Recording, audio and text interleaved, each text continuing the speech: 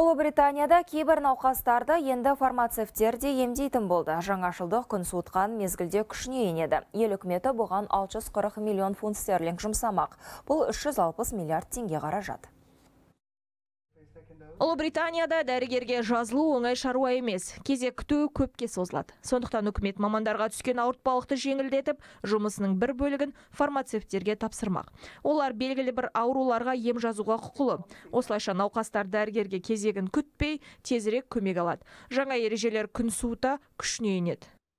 Дәріханалар кең тараған жеті дертке қарсы дәрі жаздыра алады оған тамақ ауруы теміреткі тыныс алу жолдарының жеңіл инфекциялары секілді кеселдер жатады. Дәріханаларда қан қысымын тексеруді едәуір көбейткіміз келеді. Жылына екі жарым миллионға дейін арттыру жоспарда бар. Осылай жүрек ұстамасы мен инсульт қаупін азайтамыз.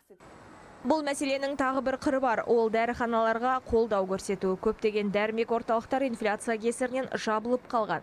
Фармацевтер қауымдастығының мәліметінше қаражат бөлінбесе, тағы 3 мыңы жұмысын тоқтатуы мүмкін. Бұл мақсатқа 640 миллион фунт бөлу көзделген. Науқасты емдеп күту үзіліссіз өтуі керек. Терапевт ретінде қарамағымыздағы адамдар мен олардың ауруларын жақсы білеміз. Сондай ақ үкімет жоспары бойынша ауруханалардағы қабылдау бөлімдерінің мамандары да арнайы курстан өтіп, науқастарды бірден іріктеп, тиісті мамандарға жіберіп отырады. Осы шаралардың барлығы денсаулық сақтау жүйесінің жұмысын оңтайландыруы тиіс. Жұлдыз Атагелдиева, Бекболат Тұрмаханов, Досхан Қораз, Хабар 24.